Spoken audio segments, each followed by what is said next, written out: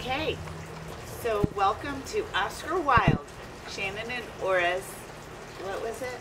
Extraordinary, Adventure? extraordinary Oscar adventure. Yes, extraordinary Oscar adventure. Um, so we are doing a little project together, and we decided that we were curious about all of the old uh, um, Academy Award movies, and we decided we were going to start from the beginning and watch a couple from each year, a couple of winners from each year, and then I thought, why don't we share this with our friends? So we're going to share a few minutes of um, a film from each year from the Academy Awards and our feeling about it, a little bit about the story, and uh, maybe you'll want to watch it too.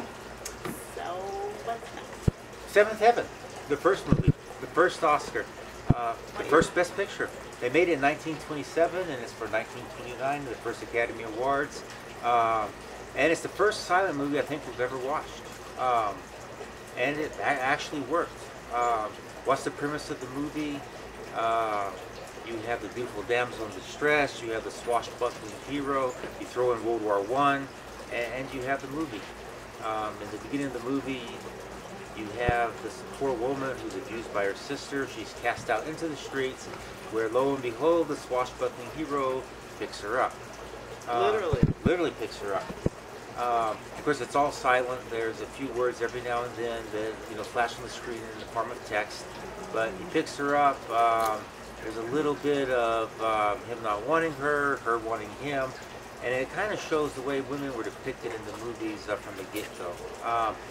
The evil sister is all made up with the black makeup and the dark eyes, and she's just this awful, uh, vengeful um, person. Um, Mary Pickford, who I had heard of from my parents, plays the beautiful damsel in distress. Um, her name is Diane.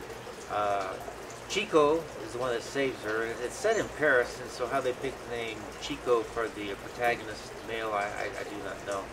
Um, but anyway, it's a love story. That there's World War One. Um, he goes off to war. We Well- won't spoil the end of it. Go ahead. Right. It turns into love, and he's an atheist through the whole movie, which is really crazy from that time period. And so, of course, you can imagine at the end he comes back alive, and we're not going to tell you what happens after that. But um, so all of these things that you would never think that you would see in a movie from 1929, you actually do see. And what was really, how did I feel? You know, how did I feel through this? Because I was really struggling, struggling with, oh my God, we're gonna have to like trudge through. We'll do it in small segments, trudge through a silent movie, much less like the the, the photography or the the video videography was so um, but just seeing, and they're speaking, and you're like, what are they saying? But just seeing like a couple of words and a couple of sentences every few minutes, every five or ten minutes, it was enough. That's all we really needed. Um, it made you really focus in on these like over dramatized movements and facial features and you know that really helped a lot in terms of understanding the movie i would say yeah Oh, absolutely. It's really jerky, and you're right. It's absolutely amazing how over the top the facial expressions are, and it's something you would probably make fun of if you, you know, you saw just a clip. But if you think about it, there's no other way you can really get the points across that they're trying to get across without words. You- Yeah, you, have so- to be completely over the top. Right, even though the movie really wasn't a quality story, it was just like a classic story.